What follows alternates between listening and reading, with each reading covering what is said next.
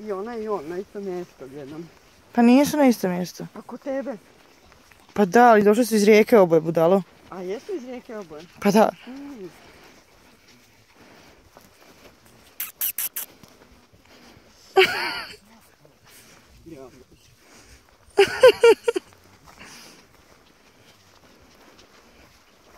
Misliš ja bacit šta?